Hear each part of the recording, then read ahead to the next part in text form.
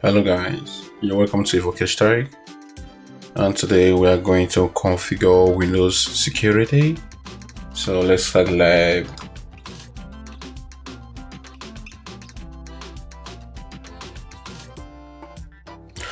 So now we're gonna click on start and now click on settings. You know I, I, can always do maximize for better viewing. So gonna click on privacy then I click on Windows Security. Uh, then um,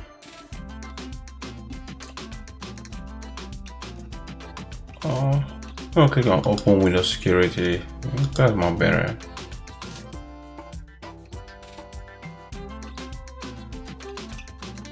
So now we're gonna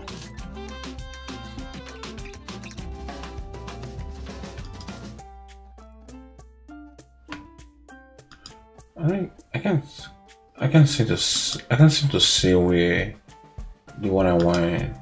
Ah, yeah, I think yeah. So click on reputation based protection settings and um, so enable SmartScreen from Microsoft Edge. So gonna enable these for virus and threat protection. Add the file exclusion.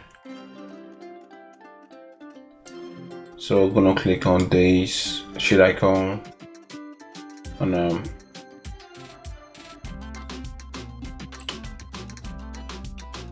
and manage settings. And scroll down. So we're gonna um, add or remove exclusion. So let's click on exclusion and click on a file.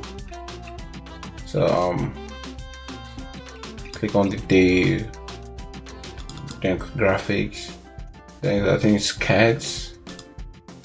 JPG, then click on open. So we're gonna add a process. Mm, I think we just need to copy the name and just paste it though. So let's add these. Already push test definition. So we're gonna click on back and um, so updating project so we're gonna click on um, scan options.